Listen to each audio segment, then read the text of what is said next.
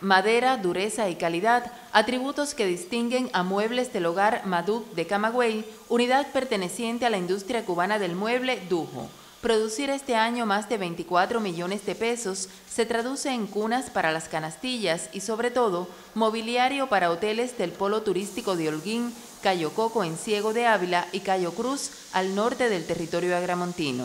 Nos encontramos una combinación del mobiliario del hotel Cocomar, que se encuentra en la callería norte.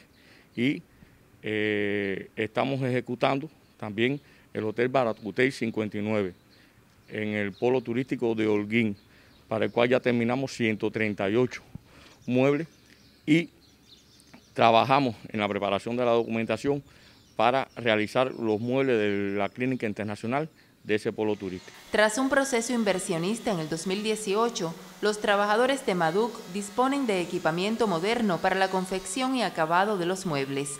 En lo que va de año cumplen las producciones previstas y a partir de mayo asumirán el mayor compromiso de su historia.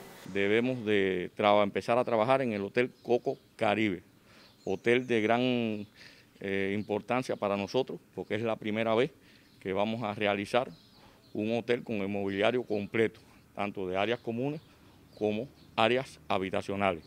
Este hotel tiene 9.358 muebles, lo cual debemos entregar, eh, culminar el año que viene, en el 2022. Tenemos que hacer un promedio mensual de 500 a 600 muebles para poder cumplir con este compromiso.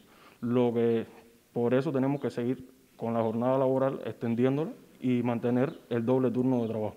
Insertarse en las ventas en moneda libremente convertible en los próximos días es otro paso de Maduc a favor del reconocimiento de la industria nacional.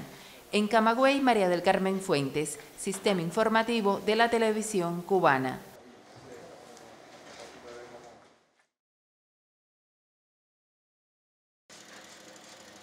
En Camagüey, María del Carmen Fuentes, Canal Caribe.